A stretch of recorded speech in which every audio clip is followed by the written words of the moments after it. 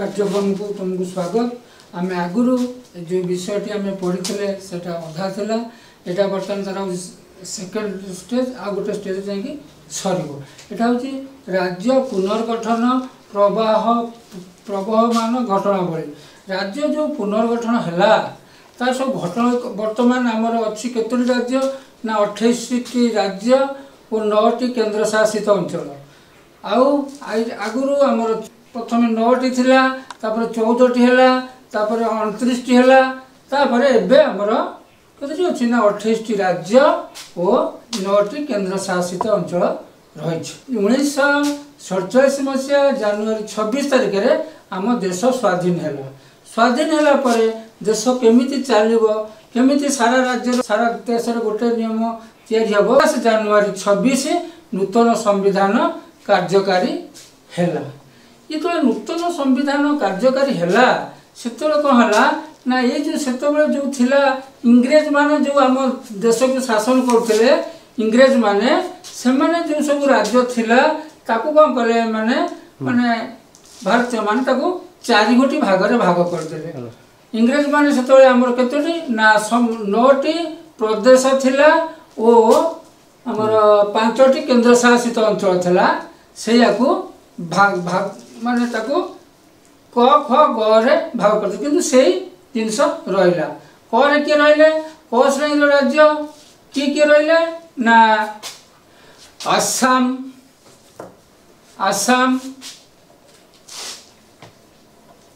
ବମ୍ବେ ଚାରିରେ ମଧ୍ୟପ୍ରଦେଶ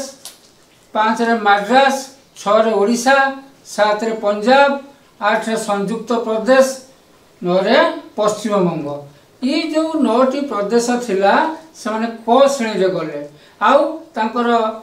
ମୁଖ୍ୟ ହେଉଛନ୍ତି କିଏ ନାଙ୍କର ମୁଖ୍ୟ ହେଉଛନ୍ତି ଜଣେ ରାଜ୍ୟପାଳ ତାପରେ ଆସିଲା ଆମେ ଖ ଶ୍ରେଣୀ ଖ ଶ୍ରେଣୀର ରାଜ୍ୟ କିଏ କିଏ ରହିଲେ ରାଜ୍ୟ ଆମର କେଉଁ କେଉଁମାନେ ରହିଲେ ନା ହାଇଦ୍ରାବାଦ ଜାମ୍ମୁ କାଶ୍ମୀର ମଧ୍ୟ ଭାରତ ମୈସୁର ଓ ପାତିଆଲା ଇ ଯେଉଁ ଆମର ଖ ଶ୍ରେଣୀ ରାଜ୍ୟ ରହିଲେ ତାର ମୁଖ୍ୟ ରହିଲେ ଜଣେ ରାଜ୍ୟ ପ୍ରମୁଖ ଯିଏକି ସେ ଆମର ଭାରତର ରାଷ୍ଟ୍ରପତିଙ୍କ ଦ୍ୱାରା ନିଯୁକ୍ତ ହୋଇଥାନ୍ତି ତାପରେ ରହିଲା କିଏ ନା ଆମର ଗରେ ଆସିଲେ ପାଞ୍ଚଟି କେନ୍ଦ୍ରଶାସିତ ଅଞ୍ଚଳ ସେତେବେଳେ ଯେଉଁ ଥିଲା କେନ୍ଦ୍ରଶାସିତ ଅଞ୍ଚଳ କିଏ କିଏ ଆଜମିର ଭୋପାଳ ବିଳାସପୁର କୁଚବିହାର ଦୁର୍ଗ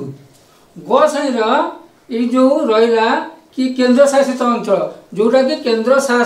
ସରକାର ତାକୁ ପରିଚାଳିତ କରିଥାନ୍ତି ସେଟା କିଏ କିଏ ହେଲେ ତାର ମୁଖ୍ୟ କିଏ ହେଲେ ଚିଫ୍ କମିଶନର ବା ରାଜ୍ୟପାଳ ତାଙ୍କୁ କୁହାଯାଏ ଆଉ କିଏ ନା ଘ ତା ରହିଲା ଆମର ଲାଷ୍ଟଟା ଘ ଶ୍ରେଣୀର ଘ ଶ୍ରେଣୀର ରାଜ୍ୟ କିଏ କିଏ ରହିଲେ ଆଣ୍ଡାମାନ ଓ ନିକୋବର ଦ୍ୱୀପପୁଞ୍ଜ ଓ ଅନ୍ୟାନ୍ୟ ଅଧିକୃତ ଅଞ୍ଚଳ ଆଣ୍ଡାମାନ ନିକୋବର ସେତେବେଳେ ଆମର ଫାର୍ସିମାନେ ଆସୁଥିଲେ ସେମାନେ ଯେଉଁ ଏରିଆକୁ ଆମର ଦକ୍ଷିଣରେ ରହିଥିଲେ ତାକୁ ସବୁ ସେ ଯେଉଁ ଦ୍ୱୀପପୁଞ୍ଜ ରହିଲା ତାକୁ ଆମେ ଘ ଶ୍ରେଣୀରେ ନେଲେ ସେ ଯେଉଁ ସେମାନେ ସେ ଯେଉଁ ଫରାସୀ ଲୋକମାନେ ଆସି ଆମର ଦକ୍ଷିଣ ହାତରେ ଯେଉଁ ରାଜ୍ୟଗୁଡ଼ାକୁ ଆୟତ୍ତ କରି ରଖିଥିଲେ ସେଇଥିରେ ସେମାନେ ଗଲେ ଏଇଟା ହେଲା ଆମ ରାଜ୍ୟ ପୁନର୍ଗଠନର ପ୍ରଭାବ ମାନେ ଘଟଣା ଏଇଟା ଏଇଟା ହେଲା ଗୋଟିଏ ଘଟଣା ତାପରେ ଆହୁରି ମଧ୍ୟ ଘଟଣା ଏଇ ଯେଉଁ ঘটনা ହେଲା ତାପରେ କ'ଣ ହେଲା ନା ସରକାର ଚିନ୍ତା କଲେ ସବୁ ସବୁଆଡ଼ୁ ଆସିଲା ଯେ ଆମେ ସବୁ ଭାଷା ଭିତ୍ତିକ ରାଜ୍ୟ ହେବ ଆମର ବମ୍ବେ ଲୋକ କହିଲେ ଆମର ମରାଠୀ ଭାଷା ଆଉ ଏଇ ଯେଉଁ ଆନ୍ଦୋଳନଟା ଉଣେଇଶହ ଛୟାଅଶୀରୁ ଉଣେଇଶହ ଅଣଚାଶ ଯାଏଁ ହେଲା ଅଣଚାଶ ଯାଏଁ ହେଲା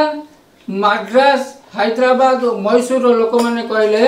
ଯେ ଆମକୁ ତେଲୁଗୁ ଭାଷା ଆମେ ତେଲୁଗୁ ରାଜ୍ୟ ହେବ କର୍ଣ୍ଣାଟକ ଲୋକମାନେ କହିଲେ ଆମର କନ୍ନଡ଼ ଭାଷା ହେବ